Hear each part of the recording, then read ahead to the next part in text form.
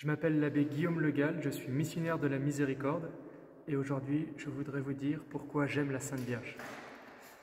La Sainte Vierge, elle a un grand titre parmi tous ses titres, parmi toutes les choses bonnes par lesquelles elle est louée.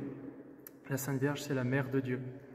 Et donc elle nous dit quelque chose de très fort, elle nous dit quelque chose de complètement euh, mystérieux, complètement incroyable quand on y pense, c'est que Dieu, dans toute sa perfection, a voulu avoir une maman. Il a voulu avoir un amour féminin qui se penche sur la deuxième personne, sur le Fils.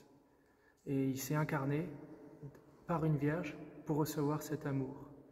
Et c'était pas euh, la Sainte Vierge, c'était pas quelqu'un euh, d'incroyable, c'était pas une princesse en réalité. Elle, ne vivait pas dans, les palais des rois, elle portait pas des vêtements magnifiques. Euh, c'était une personne simple, c'était une personne pauvre.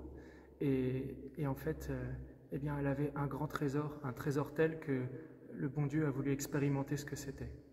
Et donc, vous voyez, dans, toutes les misères de l'âme humaine, dans, toutes les choses qui vont pas sur cette terre, dans, tout ce qu'on peut éprouver de, dur, de cruel sur terre par les hommes, eh bien, il y a toujours ça qui reste, toujours ça qui reste par derrière, toujours ça qui reste euh, comme une expérience fondamentale, c'est qu'il y a un amour humain qui est très fort, qui est très bon, et qui est tellement bon que Dieu a voulu l'expérimenter.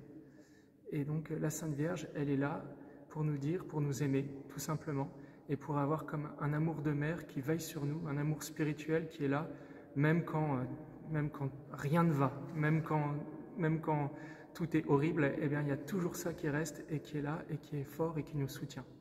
Alors voilà pourquoi j'aime la Sainte Vierge, parce qu'elle est la mère de Dieu et qu'en étant la mère de Dieu, eh bien, elle est la mère de, tout homme et qu'elle donne cet amour maternel, cet amour féminin inconditionnellement.